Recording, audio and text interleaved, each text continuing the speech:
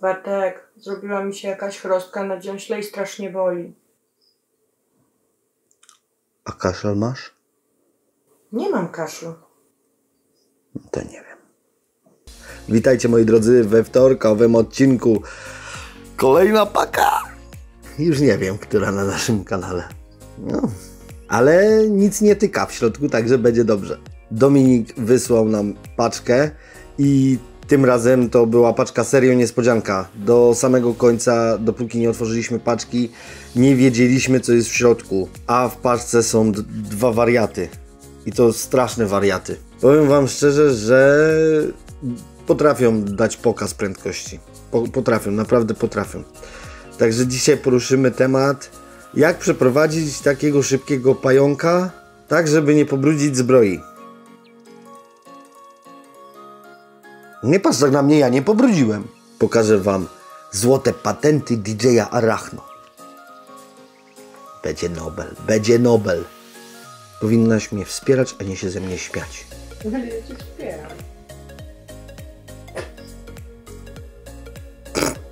Nie wiem, co to za narzecze. Także podsumowując dzisiejszy wstęp. No nie nagram tego wstępu. No i takie mam wsparcie. A jak Nobla dostanę, to jeszcze będziesz błagała, żebym Ci pokazał nagrodę. Kochani, już niewiele, niewiele, niewiele dzieli nas od konkursu, który będzie na 5000 subskrypcji. Także udostępniajcie, a konkurs będzie szybciej. Bardzo chciałbym Wam podziękować wszystkim za frekwencję, jaka jest na naszych live'ach niedzielnych. No po prostu jesteście mega. I powiem Wam szczerze, że to, co tworzymy... A co tworzymy? Po angielsku to... yy, Community, no społeczność, tak. Społeczność, którą tworzymy jest po prostu niesamowita. To jest coś niesamowitego. Jest tak mało hejtu i, i sami pozytywni ludzie i w ogóle jesteście mega. Wszyscy jesteście niesamowici. Bardzo dziękujemy nowym wspierającym. E, z tego co pamiętam, mamy nowego wspierającego na poziomie czwartym, który koniecznie musi do mnie napisać. Tak, tam w opisie masz kontakty ze mną i koniecznie musisz napisać, bo należy Ci się paczucha wspierającego poziomu czwartego. Tak, jakby ktoś pytał, to na poziomie czwartym dostaje się specjalne prezenty. A w ogóle to do naszej oferty trafiły wlepki. Widzieliście? Magia. Tak, ci co oglądają filmy albo byli na, na, na live'ach, to już widzieli jakie wlepki. Tak, jeśli ktoś by miał ochotę wesprzeć nas, a nie może kupić pająków, może sobie zafundować takie wlepki. O wszystkie informacje pytajcie mnie na privie. Tak, tak jestem zdeterminowany i w tym roku jeszcze chcę uzbierać na aparat, ale mamy wrzesień, także nie wiem czy mi się. Peszek. Dobra, nie przedłużajmy, bo to będzie jeden z najdłuższych wstępów na tym kanale. W drugą stronę też działa. Ups. To nie przedłużajmy. Zobaczmy, co dostaliśmy. Ja jestem DJ Rachno, a to są moje ptaszniki.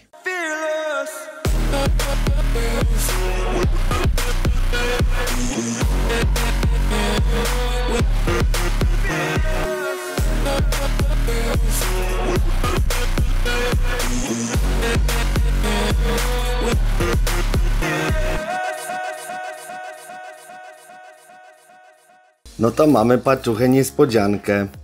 I to taką serio, serio niespodziankę. E, Paczkę wysłał nam Dominik i nie mam bladego pojęcia, co znajduje się w środku. Także gwiazdka przyszła wcześniej. Nożyk i otwieramy. Oczywiście, jakby to mogło być inaczej, kurier musiał dać ciała i paczka szła 6 dni. No, 6 dni szła paczka. No ale co zrobić? No niestety, tak to jest. Oczywiście, zobaczcie. Paczka na bank nie była oszczędzana przez kuriera. Dobra, co my tu mamy? W paczce mamy paczkę, a pod paczką mamy coś tu napisane. Aha, dobra. O ja, Dominik, dzięki. Już wiem, jaki pająk znajduje się w środku. Ptasznik kobaltowy, czyli Cyriopagopus lividum. Ale mega. Tu wypisane mamy wszystkie informacje potrzebne do hodowli pająka, także mega, mega, mega. Życzę szczęścia, może trafisz samca albo samicę. Dzięki, dzięki stary. Piękny, nie? Piękne. A my tutaj, co tutaj mamy? Tu nie mamy nic. To było zawinięte, żeby się nie zgubiło. Ekstra. To co, rozpakowujemy poczułka? Jejku, ta paczka tak długo szła, a uwierzcie mi, że jest na dworzu bardzo zimno. Także ja, ja się boję, strasznie się boję. Jak ta paczka idzie dłużej niż te 3-4 dni, to ja już mam normalnie czarny scenariusz przed oczami. Już mam złe myśli, już mam złe myśli. O, by było wszystko w porządku. Oczywiście papierek zimny, no bo kurczę, 6 dni, no to całkiem sporo, co? Ale tutaj, tutaj są dwie kliszówy. No dwie, jakby nie patrzeć. Jedna i druga. Czyli, że dwa? No tu mam pensetę. No i mamy pajączka, zaświecimy. I tutaj nie jest skulony, ma się całkiem nieźle, także super. I tutaj powinien być w takim razie drugi. No i jest drugi. Ma się dobrze, ale super. Ekstra. Także mamy dwa Cyriopagopus lividum. Ja no stary, powiem ci, że te, tego się nie spodziewałem. Tego się nie spodziewałem. Ale kurde szok. Ale żeś nam niespodziankę zrobił. No tego, te, te naprawdę, no dla mnie to jest niesamowite. Dzięki. Dzięki, dzięki. Jak widać, 6 dni w paczce. Do tego zimno, dużo papieru i pająki żyją. W związku z tym, że idziemy zaraz do pracy, pająki lecą na, na regał, żeby się zagrzać, a jak wrócimy z pracy, zrobimy dwa pojemniki i zrobimy przeprowadzkę. Ale się jaram. Super. Dzięki jeszcze raz. To co? Dla Was chwila, a dla nas 8,5 godziny ciężkiej pracy w kamieniołomach. No, źle się czuję dzisiaj. Wiesz? Tak, takie nie wiem. No, i nerka mnie szarpie, tak. Czy ja mogę dzisiaj do pracy nie iść? Nie? Aha. Czyli cierpiało coś chciało. No dobra. To co? Do zobaczenia za 9 godzin. Dobra, trzeba będzie przeprowadzić te dwa małe potworki. Przygotowaliśmy im takie oto pojemniki. Znaczy przygotowaliśmy. Pani DJ-owa przygotowała. Co my tu mamy? Włókno kokosowe. Nic więcej. Słuchajcie, jest to pająk podziemny. Także nie ma sensu tutaj wkładać dekoracji czy czegokolwiek innego. E, bo i tak będziemy hodowali najprawdopodobniej dziurę w ziemi. Chociaż z tego co mi wiadomo, e, Cyriopagopus lividus bo tak się nazywa teraz poprawnie ten pająk, prowadzi nocny tryb życia i często wychodzi, ale my to sprawdzimy. Czemu mówię, że teraz nazywa się Cyriopagopus lividus? Bo wcześniej on się nazywał Haplopelma lividum. Dlatego często mi się myli lividum czy lividus, bo lividus to jest już, już nowa nazwa. Co mogę powiedzieć? No co?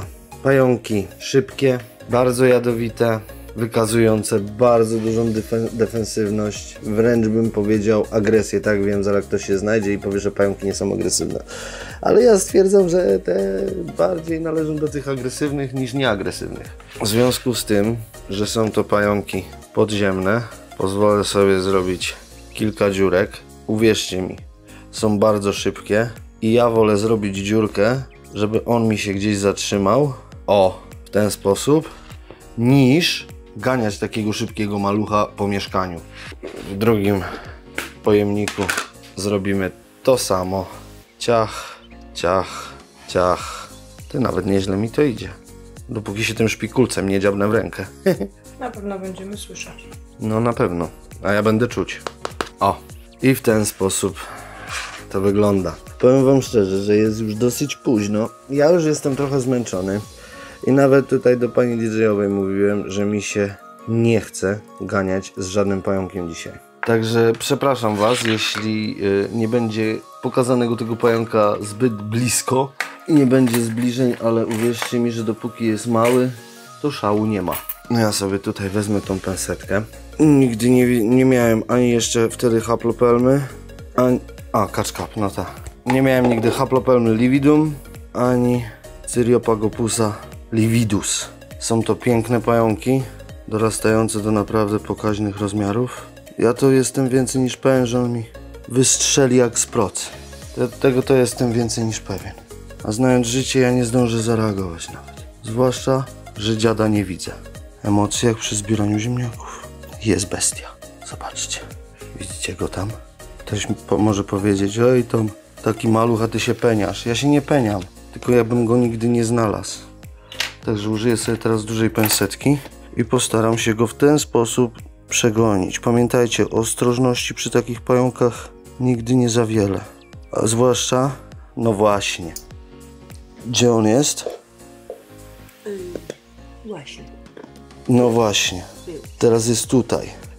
Nie wiem, czy, czy, czy udało nam się to nagrać, ale pierwsze co, to dał dzidę do góry. I to jest właśnie to, o czym mówię.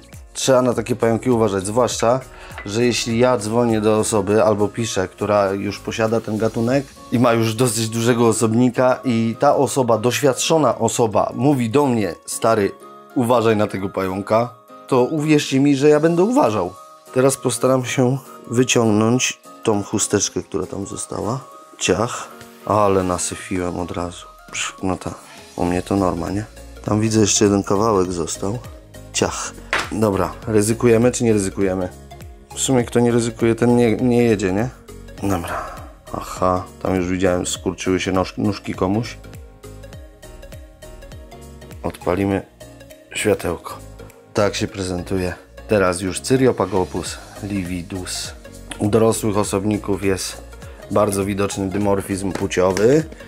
E, Samice mają taki jasno-brązowy, beżowy karapaks, e, niebieskie odnóża, a samce są po prostu takie brązowe. Takie brązowe nijakie. Tak troszeczkę bardziej jak u Hati Hati, nie? Też jest duża różnica u Hati Hati, prawda? Czy tam dzigi dzigi, jak to woli. Jeden z głowy.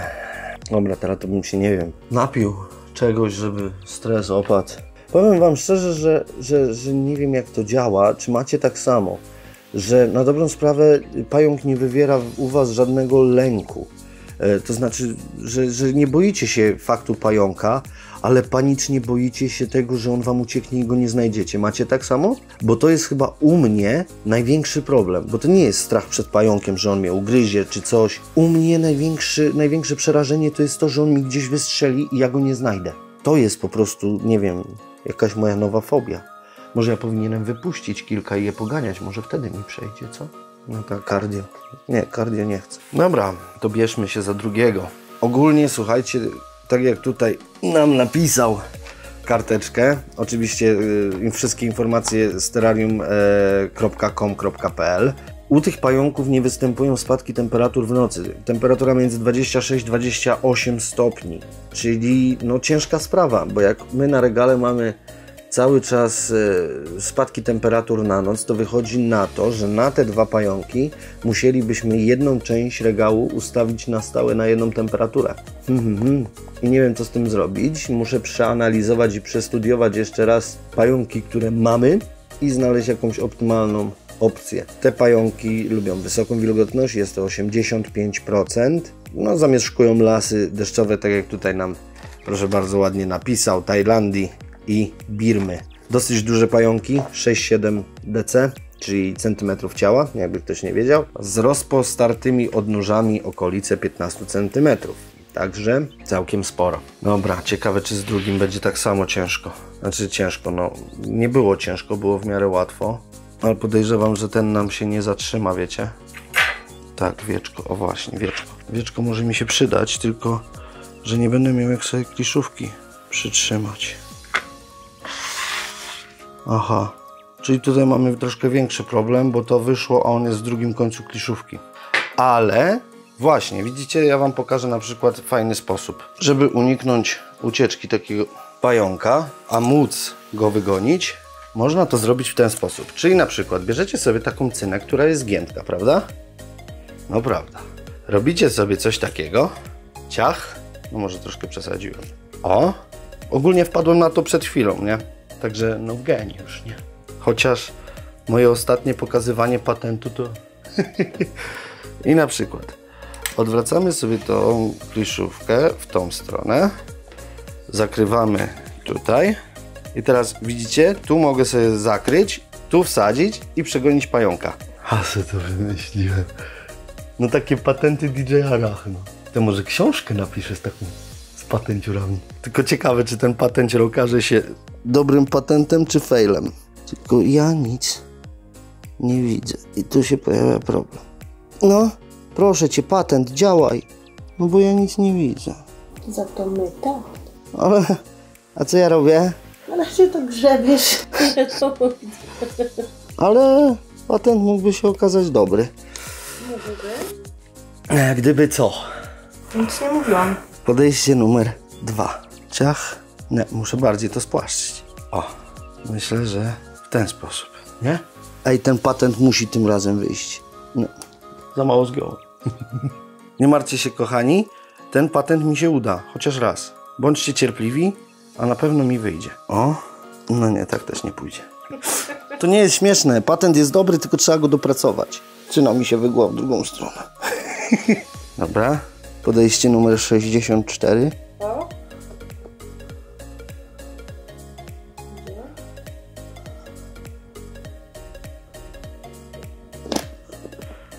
I patrzcie, dlatego że cena jest giętka, wyciągnąłem bez otwierania. Widzieliście? Także mój patent działa. To działa. Powiedzmy, że działa. To działa. No, no co, nie działa? Działa. No geniusz. Geniusz. Jak ja Nobla nie dostanę... Aha, patrzcie. Zobaczcie, zobaczcie jak on się odpala. Patrzcie, patrz, patrzcie co tam się będzie działo. Uwaga. Przekręcam. Szturchnę, puknę. No. Aha. No ta, bo DJ chce pokazać, to już się nie odpalę. Poczekajcie, dmuchniemy. Ej. No jest to, jest to szybkie. Ej, ja nawet nie wiem.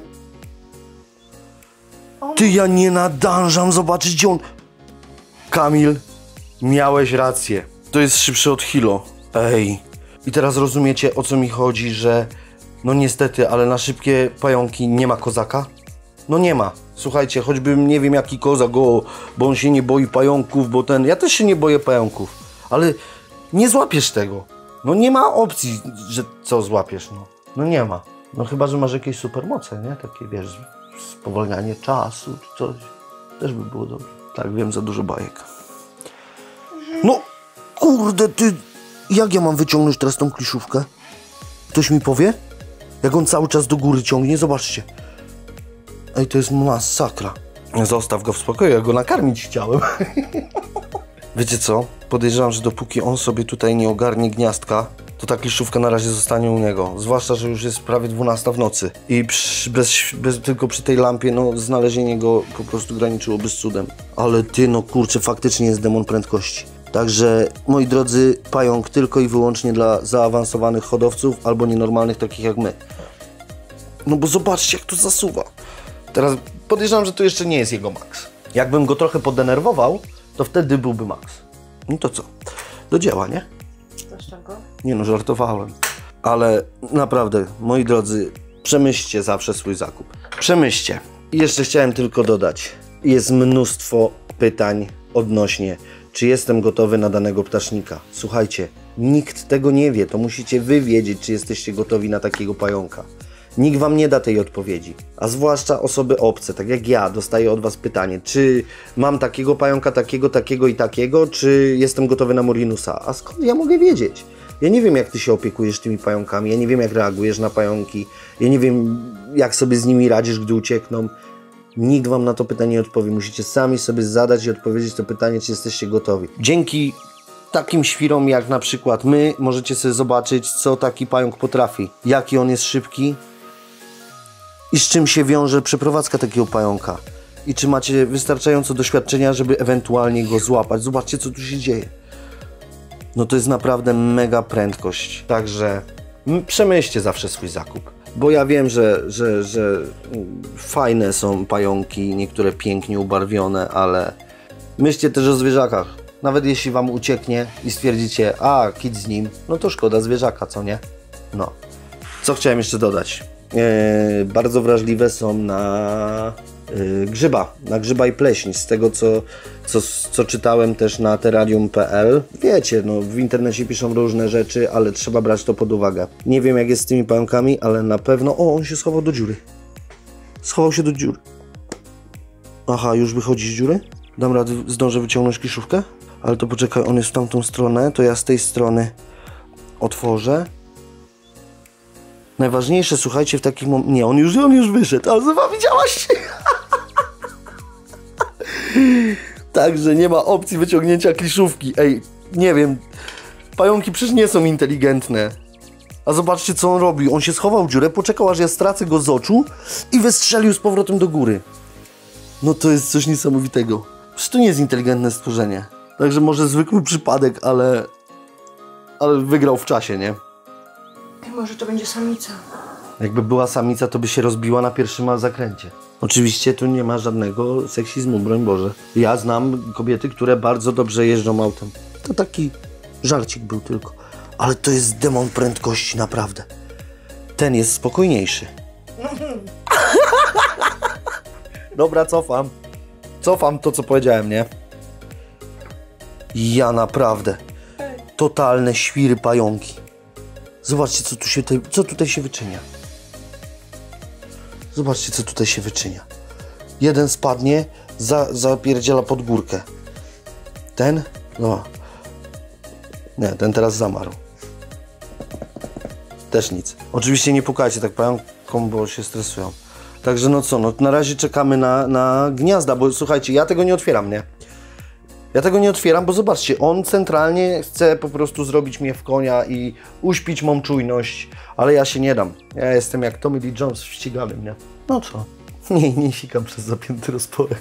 Także co? Reasumując, Dominik, bardzo Ci dziękuję. Uwielbiam nowości, które, których nigdy nie posiadałem wcześniej, a myślę, że jest jeszcze dużo pająków, których nie posiadałem wcześniej i możemy nabierać nowe doświadczenia i w końcu powiedzieć Wam za jakiś czas, jak się one zachowują, jak już zbudują swoje gniazda. Nie wiem, czy wspominałem, że kopią one tunele. To nie jest tak, że wykopię sobie dziurkę i w niej siedzi, tylko one lubią systemy tuneli sobie kopać, więc będzie to fajnie do zaobserwowania. Więc one niech sobie tutaj pobiegają, a my zrobimy sobie za jakiś czas update'ik. Ale świry będą konkretne. Ja już sobie wyobrażam przeprowadzkę tego, jak troszkę podrośnie, nie? Ja sobie nie wyobrażam. A ja sobie wyobrażam. Pełna zbroja. Odwagi oczywiście. Także Dominik, dzięki za paczkę. Jestem podjarany na maksa. Serio, serio. Także co? Mam nadzieję, że nie zacznie sobie robić gniazda w tej gliszówce, którą będę chciał z czasem wyciągnąć. A wy co? Zostawcie nam łapkę w górę, jeśli film Wam się podobał. Nie zapomnijcie zasubskrybować naszego kanału i nacisnąć dzwoneczek, aby nie pominąć nowych filmów. Jeśli chcecie wesprzeć nasz kanał, zapraszamy do wsparcia YouTube'a, tak samo jak do strony Patreon. Pamiętajcie, że nasi wspierający mają dostęp do filmów, których nie widzi nikt inny oprócz wspierających. Jeśli chcecie wesprzeć nas jednorazowo, zapraszamy do strony PayPal. Wszystkim naszym wspierającym bardzo dziękujemy, a my widzimy się już w kolejnym odcinku. Trzymajcie się. Hej! Bartek, ale ja mam chrostkę na dziąśla, nie anginę. Nie anginę. A zawroty głowy masz? Nie mam. No to nie pomogę.